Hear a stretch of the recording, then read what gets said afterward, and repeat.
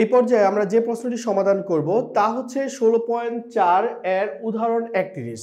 এই প্রশ্নটির ক্ষেত্রে লক্ষ্য করবে যেখানে রয়েছে ডাকনা সহ একটি বাক্সের বাইরের মাপ যথাক্রমে দশ সেন্টিমিটার, নয় সেন্টিমিটার এবং সাত সেন্টিমিটার। এক্ষেত্রে আমাদের বাক্সটির ভিতরে সমগ্র পৃষ্ঠের ক্ষেত্রফল দুশো বাষট্টি বর্গ সেন্টিমিটার এবং বক্সের পুরুত্বটিকে আমাদের সমান। তাহলে এক্ষেত্রে বলা হচ্ছে বাক্সটির আয়তন নির্ণয় করো। যেহেতু বাক্সটির আয়তন নির্ণয় করতে বলা হচ্ছে, তাহলে লক্ষ্য করবে আমাদের ডাক্তার সহ একটি বাক্সের বাইরের মাপ দেয়া রয়েছে দশ সেন্টিমিটার, নয় সেন্টিমিটার ও সাত সেন্টিমিটার। তাহলে এখানে যে ও সাত সেন্টিমিটার রয়েছে, তাহলে এখানে আমরা যদি বক্সটির আয়তন নির্ণয় করি, তাহলে আমরা কতে লিখব, বাক্সের বাইরের মাপ আমাদের রয়েছে এখানে দশ সেন্টিমিটার, নয় সেন্টিমিটার ও সাত সেন্টিমিটার। সেক্ষেত্রে আমাদের বক্সের আয়তন হবে, তাহলে লিখব সুতরাং বক্সের আয়তন, আমরা জানি দৈর্ঘ্য গুণ প্রস্থ গুণ উচ্চতা হচ্ছে আমাদের আয়তনের সূত্রটি। তাহলে আমরা লিখব ten into nine into seven. তাহলে আমরা বক্সের আয়তনের ক্ষেত্রে আমরা কি করব? বক্সের যে মাপটি রয়েছে দশ সেন্টিমিটার, নয় সেন্টিমিটার এবং সাত সেন্টিমিটার, এটি কি করব? আমরা গুণ করব। কারণ আমরা জানি এই সূত্রটি হচ্ছে দৈর্ঘ্য গুণ প্রস্থ গুণ উচ্চতা।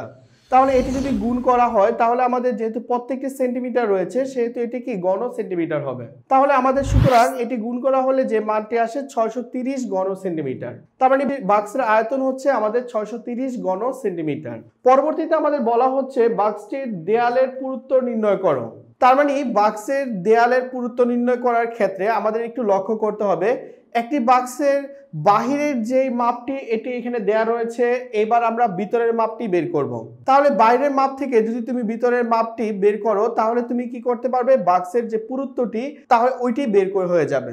সেক্ষেত্রে আমরা তাহলে প্রশ্নটি সমাধানে আসি, বাক্সের পুরুত্ব। তাহলে আমরা বাক্সের দেয়ালের পুরুত্ব নির্ণয় করার ক্ষেত্রে আমরা লিখব, মনে করি, দেয়ালের পুরুত্ব দেয়ালের পুরুত্বকে আমরা এক সেন্টিমিটার ধরে নিচ্ছি। তাহলে সেক্ষেত্রে আমাদের এখানে দেয়ালের বাইরের মাপ রয়েছে, তাহলে আমরা লিখব বাইরের মাপ।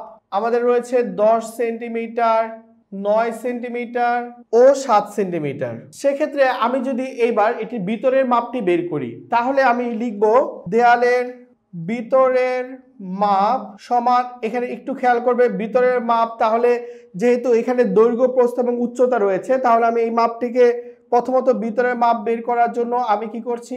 এ তাহলে আমি এ নিচ্ছি এ সমান আমাদের এখানে রয়েছে প্রথমত টেন, তাহলে ten minus two x centimetre. এর পরবর্তীতে আমরা যদি লিখি বি তাহলে বি এর মানটি লিখব, এখানে রয়েছে নাইন, তাহলে nine minus two x centimetre. এর পরবর্তীতে রয়েছে আমাদের সি সি এর মাপটি আমি লিখব এখানে সেভেন রয়েছে, তাহলে seven minus two x centimetre এক্ষেত্রে এটি হচ্ছে দেয়ালের ভিতরের মাপ। এখানে ছিল দেয়ালের প্রথমত ছিল যে এক ডাকনা সহ একটি বাক্সের বাইরের মাপ, দশ সেন্টিমিটার নয় সেন্টিমিটার সাত সেন্টিমিটার তাহলে এখানে কি আমরা দেয়ালের ভিতরের মাপটি বের করছি? এখানে ten minus two x centimetre b সমান নাইন মাইনাস টু এক্স এবং সি সমান সেভেন মাইনাস টু এক্স। তাহলে এখানে আমরা যদি এর জন্য আমরা সূত্রটি ব্যবহার করি, তাহলে সূত্রটি পাই সমগ্র পৃষ্ঠের ক্ষেত্রফল সমান two a b plus bc plus c a. তাহলে এখানে আমি এটিকে লিখব প্রশ্ন মতে two a b plus bc plus c a সমান। এখানে আমাদের রয়েছে, দেখো, বাক্সের ভিতরে সমগ্র পৃষ্ঠে ক্ষেত্রফল রয়েছে দুইশো বাষট্টি বর্গ সেন্টিমিটার। তাহলে আমি এটি লিখব দুইশো বাষট্টি বর্গ সেন্টিমিটার। সেক্ষেত্রে আমরা দেখো, লক্ষ্য করো যে এটি যদি আমরা ইকুয়েশন বা সমাধান করি, তাহলে পাই টু যেহেতু গুণাকার রয়েছে, আমি এখানে বাঘাকার নিয়ে আসব এবং এগুলির মান বসিয়ে দিব।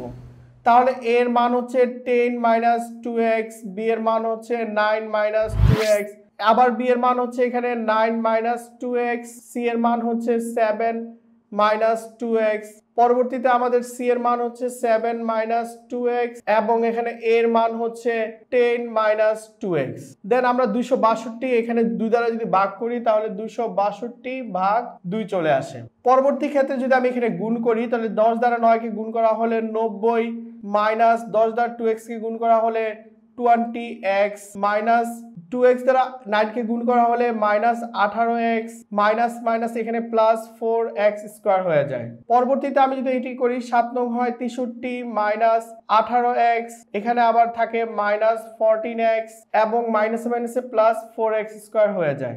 সেক্ষেত্রে এখানে যদি আবার আমি ভাগ, গুণ করি, সাত দ্বারা দশকে গুণ করা হলে সেভেন্টি মাইনাস ফোরটিন এক্সের পরবর্তীতে আমরা মাইনাস টু এক্স দ্বারা যদি টেনকে গুণ করি, তাহলে মাইনাস টোয়েন্টি এক্স এবং মাইনাস মাইনাস এখানে মাইনাস প্লাস হয়ে যায়। এখানে হয়ে যাবে ফোর এক্স স্কোয়ার ইকুয়াল এখানে দেখো দুশো বাষট্টিকে যদি আমরা দুই দ্বারা ভাগ করি, তাহলে থেকে যায় আমাদের একশো একত্রিশ। দেন আমরা পরবর্তীতে আমাদের যে মানগুলি রয়েছে, তা আমরা যোগ বিয়োগ করব। সেক্ষেত্রে আমরা পাই, দেখো এখানে plus ninety plus sixty three এবং প্লাস সেভেন্টি রয়েছে। তাহলে যদি আমরা এই মানটিকে গুণ করি, তাহলে আমাদের যে মানটি চলে আসে দুইশো তেইশ। তাহলে দুইশো তেইশ এবার লক্ষ্য করবে যে এখানে আমাদের রয়েছে মাইনাস টোয়েন্টি এক্স মাইনাস আঠারো। তাহলে এটা আটত্রিশ এক্স হয়। আবার এখানে মাইনাস আঠারো মাইনাস চোদ্দ, আবার এখানে মাইনাস চোদ্দ মাইনাস টোয়েন্টি এক্স তাহলে যদি আমরা এগুলি সবগুলি যোগ করি, তাহলে আমাদের যে মানটি আসে তা হচ্ছে মাইনাস একশো চার এক্স পরবর্তীতে আমাদের এখানে বাকি রয়েছে, এখানে দেখো ফোর এক্স প্লাসের এখানে রয়েছে ফোর এক্স এবং এখানে প্লাসের ফোর এক্স তাহলে যদি এইগুলি যোগ করা হয়, তাহলে আমাদের চলে আসবে plus twelve x square equal একশো একত্রিশ। দেন আমরা যদি এইবার এই ক্ষেত্রে বারো এক্সকে সামনে নিয়ে আসি মাইনাস একশো চার এক্স এখানে দুশো তেইশ, তাহলে প্লাস দুশো তেইশ এবং মাইনাস আমরা একশো একত্রিশ করি। তাহলে সেই ক্ষেত্রে আমরা কি করব? এখানে একশো, দুশো তেইশ থেকে একশো একত্রিশ বাদ দিব। তাহলে টুয়েলভ এক্স স্কোয়ার মাইনাস একশো চার এক্স এখানে থাকবে প্লাস আমাদের টু এবং নাইন নাইনটি টু এই মানটি আমাদের থেকে যায়। দেন আমরা এখান থেকে একটি মান যদি কমন নেই, তাহলে এটি মিডল টার্ম করতে আমাদের জন্য সহজ হয়।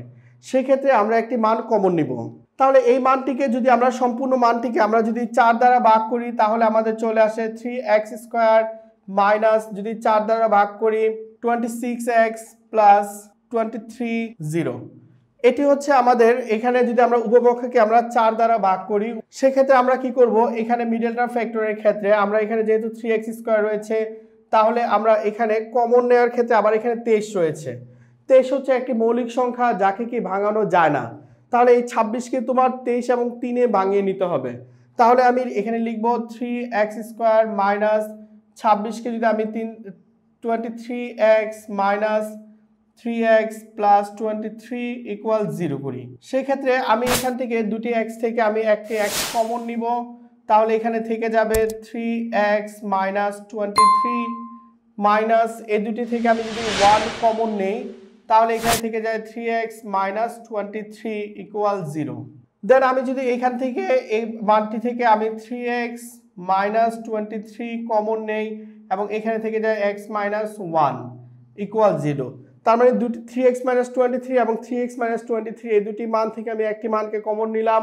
তাহলে এখানে থেকে যায় এক্স মাইনাস ওয়ান তাহলে x minus one equal zero হলো। সেক্ষেত্রে আমরা দেখো এখানে দুটি মান বের হয়েছে, একটি হচ্ছে হয় x minus one equal zero অথবা এক্স সমান ওয়ান আরেকটি মান হচ্ছে অথবা অথবাতে আমরা পাই three x minus twenty three equal zero তাহলে three x equal twenty three এবং যদি এক্সকে আমরা এই টোয়েন্টি থ্রিকে থ্রি দ্বারা ভাগ করি, তাহলে আমাদের এক্সের যে মানটি চলে আসে, তা হচ্ছে সেভেন পয়েন্ট সিক্স সেভেন তাহলে এই ক্ষেত্রে আমরা এক্সের দুটি মান, একটি হচ্ছে হয় এবং আরেকটি অথবা দিয়ে মান পেয়েছি। তাহলে এই ক্ষেত্রে লক্ষ্য করবে যে এক্সের মান যেহেতু একটি ওয়ান এসেছে, আরেকটি এক্সের মান সেভেন পয়েন্ট সিক্স সেভেন এসেছে। তাহলে এখানে শর্ত হচ্ছে যে আমাদের পুরুত্ব, বাক্সের যে পুরুত্বটি, এটি কখনোই আমাদের বাইরের যে মাপ রয়েছে, এর থেকে বড় হতে পারবে না। তার মানে মেন মোট কথা হচ্ছে এখানে এই তিনটি মাপের থেকে কোনো একটি মাপ থেকে আমাদের ভিতরের পুরুত্বটি বড় হতে পারবে না। সেহেতু এখানে যেহেতু একটি মান চলে এসেছে সেভেন পয়েন্ট সিক্স সেভেন তাহলে এটি আমাদের সেভেন সেন্টিমিটার থেকে বড় হয়ে যায়। সুতরাং এই মানটিকে আমরা এখানে গ্রহণ করতে পারব না। তাই আমাদের এখানে উত্তরে আমরা সুতরাং লিখব আমাদের এখানে চাওয়া হয়েছিল দেয়ালের পুরুত্ব নির্ণয় করো তাহলে আমরা লিখব সুতরাং পুরুত্ব পুরুত্ব সমান ওয়ান সেন্টিমিটার কারণ এক্সে যে ছোট মানটি রয়েছে সেটি আমরা গ্রহণ করব। পরবর্তীতে আমাদের যে গয়ের প্রশ্নটি রয়েছে তা হচ্ছে দেখো বক্সটির বৃহত্তম দৈর্ঘ্যের সমান বাহু বিশিষ্ট কোনো রম্বসের একটি কর্ণ ষোলো সেন্টিমিটার হলে রম্বসটির ক্ষেত্রফল নির্ণয় করো। তাহলে এই ক্ষেত্রে আমরা প্রশ্ন যদি ভালো করে আরেকবার পড়ি, তাহলে বাক্সটির বৃহত্তম দৈর্ঘ্যের সমান বাহু বিশিষ্ট। তাহলে বৃহত্তম দৈর্ঘ্যটি রয়েছে আমাদের এখানে টেন সেন্টিমিটার। তাহলে আমরা যদি বক্সের বৃহত্তম বাহুর, বৃহত্তম দৈর্ঘ্যের সমান বাহু বিশিষ্ট কোনো রম্বসের, তার মানে এই রম্বসের ক্ষেত্রে আমাদের বৃহত্তম বাহুটি হচ্ছে দশ সেন্টিমিটার এবং এর একটি কর্ণ দেওয়া রয়েছে ষোলো সেন্টিমিটার। এখন বলা হচ্ছে রম্বসের ক্ষেত্রফলটি নির্ণয় করার জন্য। তাহলে লক্ষ্য করবে, এই ক্ষেত্রে আমরা যদি একটি রম্বস আঁকি এ বি সি ডি এবং এর এসি এবং বিডি হচ্ছে দুটি কর্ণ। এখন লক্ষ্য করো, রম্বসের ক্ষেত্রফল নির্ণয় করার জন্য আমাদের সূত্রটি হচ্ছে হাফ এসি ইন্টু বিডি তাহলে এসি হচ্ছে আমাদের একটি কর্ণ এবং বিডি হচ্ছে কি আরেকটি কর্ণ। তাহলে এখানে আমাদের এসি এবং বিডির মান নির্ণয় করতে হবে। সেক্ষেত্রে আমরা কি করব? এখানে লক্ষ্য করো, প্রথমে আমরা লিখেছি মনে করি এবিসিডি প্রত্যেক বাহুর দৈর্ঘ্য দশ সেন্টিমিটার। কারণ এখানে বলা হয়েছে বাক্সটির বৃহত্তম দৈর্ঘ্যের সমান বাহু। তাহলে বৃহত্তম দৈর্ঘ্য ছিল দশ সেন্টিমিটার, সেহেতু আমরা এখানে ধরেছি দশ সেন্টিমিটার। একটি এবং কর্ণ আমাদের পরস্পরকে ও বিন্দুতে ছেদ করে। আমি এখানে চিত্রটি আঁকার সময় এখানে লিখেছি যে এটি ও বিন্দুতে ছেদ করছে। সেক্ষেত্রে আমরা জানি রম্বসের কর্ণদ্বয় পরস্পরকে সমকোণে সমদ্বিখণ্ডিত করে। সমকোণ মানে প্রত্যেকটি কোণ কি রম্বসের সমান থাকে? সমদ্বিকোণে সমদ্বিখণ্ডিত করে। সেক্ষেত্রে আমরা এখানে লিখতে পারি, তাহলে ও এ সমান ও সি। তার মানে আমাদের এখানে ও এর মান যা হবে, ও সির মান তা হবে, আবার ও বির মান যা হবে, ও ডির মানও কি তা হবে। তাহলে আমরা এখানে লিখেছি ও এ সমান ও সি এবং ও বি সমান কি ও ডি। সেক্ষেত্রে আমরা ত্রিভুজ এ ও বি, তাহলে যদি আমরা এইটি একটি ত্রিভুজ পাই এই যে দেখো, এটিকে আমি নতুন একটি ত্রিভুজ ধরি, তাহলে এটা হচ্ছে এ ও বি এটি হচ্ছে এই যে এ ও বি হচ্ছে একটি ত্রিভুজ, তাহলে বলা হচ্ছে ত্রিভুজ এ ও বি সমকোণী ত্রিভুজের অতিভুজ। এ বি তাহলে অতিভুজ হচ্ছে এ কে ধরা হচ্ছে অতিভুজ। তাহলে অতিভুজ এ বি সমান আমাদের দশ সেন্টিমিটার। কারণ অতিভুজ এটি ধরা হয়েছে, কারণ এখানে প্রত্যেকটি এই এ বির মাপ যা এডির মাপ যা ডিসির মাপ তা বিসির মাপ কি? তাই। এবং এটি দেওয়া রয়েছে দশ সেন্টিমিটার। সেহেতু আমি অতিভুজ এ বির মাপ ধরেছি দশ সেন্টিমিটার। তাহলে আমরা যদি সুতরাং এ বি স্কোয়ার সমান আমাদের যে সূত্রটি রয়েছে এ বি স্কোয়ার সমান এখানে এ বির মাপ আমরা জানি অতিভুজ স্কোয়ার সমান মানে যদি আমাদের এটাকে এরকমভাবে হতো যে এ বি সি তাহলে আমরা জানি অতিভুজ এসি স্কোয়ার সমান হয় A B square plus BC square সেক্ষেত্রে আমাদের এখানে যেহেতু অতিভুজ এ বি তাহলে অতিভুজ এ বি স্কোয়ার সমান হবে O A square plus O B square তাহলে আমরা অতিভুজ এখানে লিখেছি এ বি স্কোয়ার তাহলে এ বির মান রয়েছে টেন স্কোয়ার মানে টেন তাহলে টেনের ক্ষেত্রে স্কোয়ার দিলে হচ্ছে একশো মান আসে। এবার একশোকে লক্ষ্য করো, আমরা ভাঙতে পারি ছত্রিশ এবং চৌষট্টিতে, তাহলে আমাদের একশো চলে আসে। যেহেতু এটি বর্গের মাপ দরকার, তাহলে আমরা ছত্রিশ এবং চৌষট্টিতে এটিকে ভাঙলাম। ছত্রিশকে আমি সিক্স স্কোয়ার করতে পারি এবং চৌষট্টিকে এইট স্কোয়ার করতে পারি। তার মানে বোঝা যাচ্ছে যে এখানে ও এর মান, ও বি এবং ও এ আমাদের দুটি মান রয়েছে। সেক্ষেত্রে ও বির মান হচ্ছে আমাদের সিক্স স্কোয়ার এবং ও এর মান হচ্ছে এইট স্কোয়ার তাহলে যেহেতু আমাদের শুধু আমরা উবি এবং উ এর মান নির্ণয় করব, সেক্ষেত্রে আমরা স্কোয়ার স্কোয়ার যদি বাদ দিয়ে দিই, তাহলে উবির মাপ যেহেতু সিক্স স্কোয়ার তাহলে উবি সমান আমাদের চলে আসে সিক্স এবং যেহেতু ও এ স্কোয়ার সমান এইট স্কোয়ার তাহলে এখানে আমরা ও এ সমান লিখব এইট তাহলে আমাদের এখানে ও বি সিক্স এবং ও এর মান চলে এসেছে কি এইট এক্ষেত্রে আমরা কর্ণ, এখানে এসি সমান, দেখো লক্ষ্য করো, আমাদের এসি পুরা এসি সম্পূর্ণটি রয়েছে। তাহলে এসি যেহেতু অর্ধেকটির মান, ও এর মান রয়েছে আমাদের এইট তাহলে এইটের সাথে আমাদের এই অংশ যা, এই অংশ তা। তাহলে এক এক, দুই হয় এই জন্য দুই দ্বারা গুণ করি। তাহলে এসির মাপ বের হয় ষোলো সেন্টিমিটার এবং বিডির মাপ বের হয় টু ইন্টু সিক্স বারো সেন্টিমিটার। বিডি ঠিক একইভাবে এই বিডি তাহলে ও বি এবং ও ডি তাহলে এক এক দুই অংশ আসে জন্য দুই দিলাম এবং সিক্স হচ্ছে ওবির মাপ, এই জন্য সিক্স দিলাম। তাহলে টু ইন্টু সিক্স গুণ করা হলে আসে বারো সেন্টিমিটার। লক্ষ্য করবে যে এখানে ত্রিভুজ এ বি সি ডি রম্বসের ক্ষেত্রফলের সূত্র হচ্ছে হাফ এসি ইন্টু বিডি তাহলে আমরা হাফের হাফ লিখব।